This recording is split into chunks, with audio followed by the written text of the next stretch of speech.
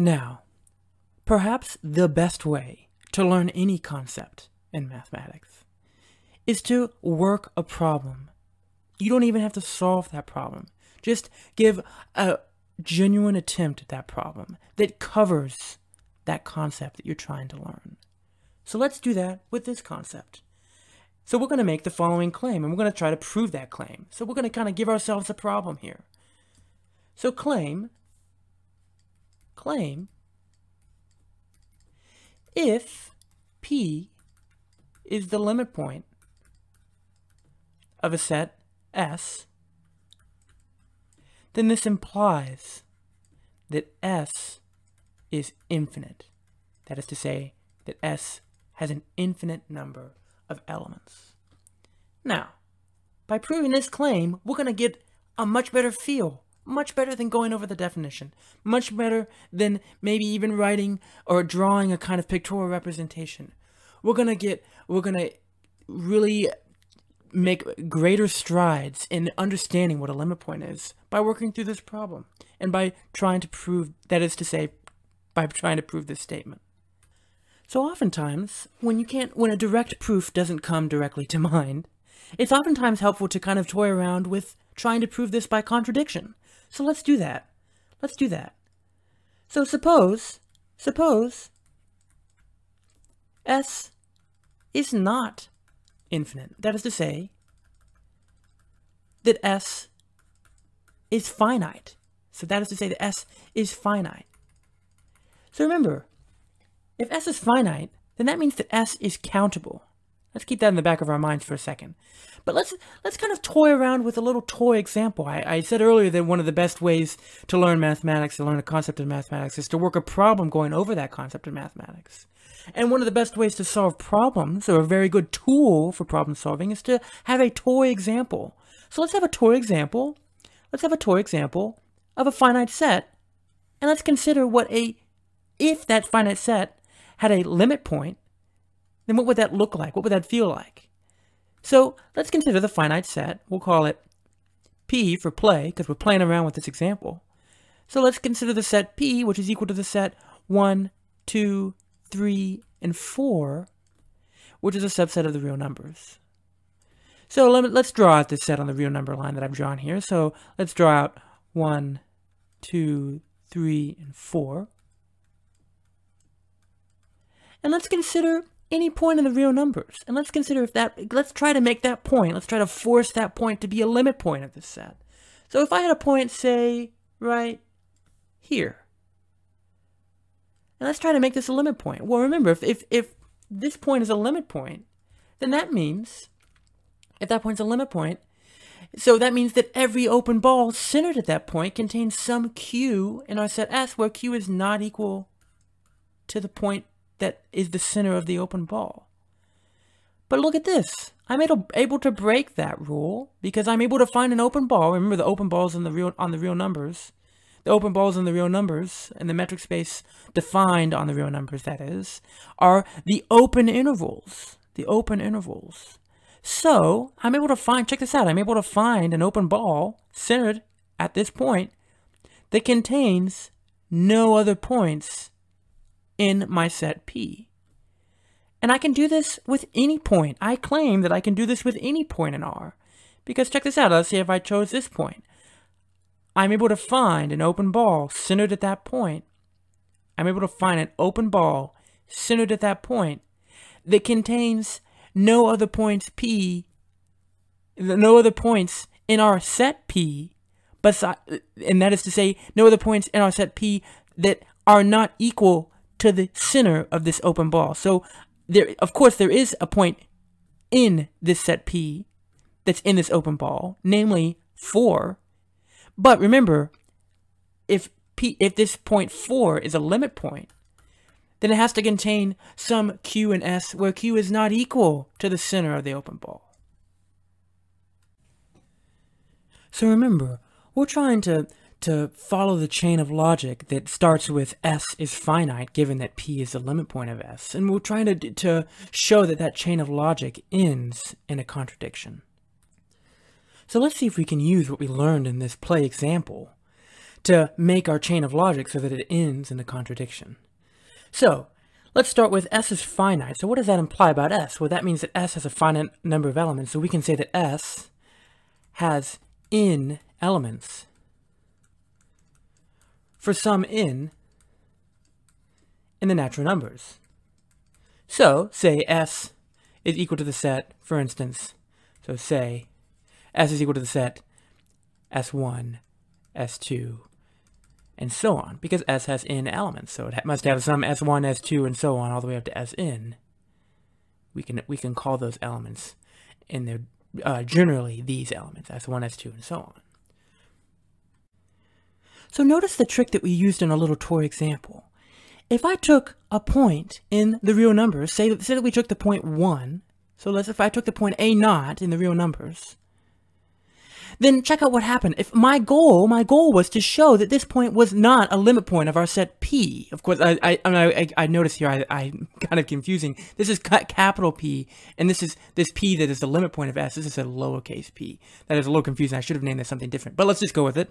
So if I chose a point A naught and R, so let's say I chose a point one here, then if I considered the point in P not equal to A naught.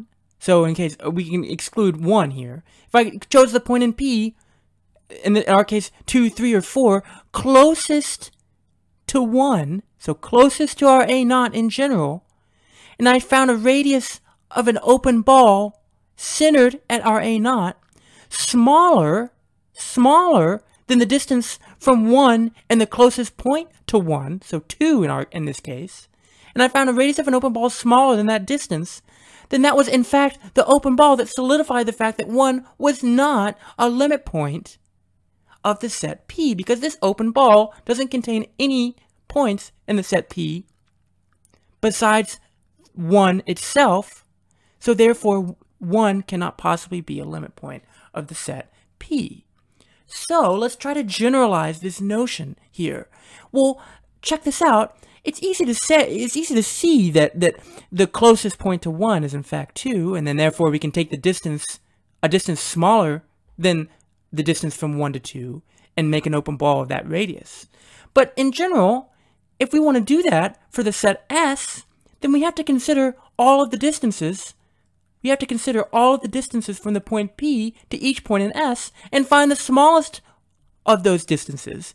And the smallest of those distances would in fact be the distance from P to whatever that point is. That's the smallest distance from P to, to any point in S, and therefore we would find the closest point to P that is not P itself in the set S. So we need to be more careful here. We need to consider the set of distances from P to points in S that are distinct from P. So P from S1 the distance from P to S2, and so on, all the way up to the, the distance from P to S in. But if, if there's a distance in here that's equal to zero, then we just take it out. Because if that distance is equal to zero, then that means the point that we're taking the distance from P, so the, that means that that distance is a distance from P to some point in S where that point in S is equal to P. So minus the distance from P to P if it exists. If it exists. Okay, that's just a, a quick, so, so in this case, the set, this set for our toy example, I'll call this set T naught and I'll call this set T. So T naught in our toy example would be the distance from 1 to 1, the distance from 1 to 2, the distance from 1 to 3, and the distance from 1 to 4, minus the set containing the distance from 1 to 1, because 1 is not distinct from 1. Okay, so now that we have that on our belt, again, to be clear, we're taking the distances of the points in S distinct from P to P. So the distances from P to the points in S, all the distances from the from the point P to all the points in S that are distinct from P. Okay. And check this out. If I take the minimum, if I take the minimum of t and let r, let r, a radius, a radius of our open ball, equal that minimum, again, we're trying to trying the same trick that we did in this toy example and see if it works for our general the general case. If we let r equal the minimum of t, then check out what happens.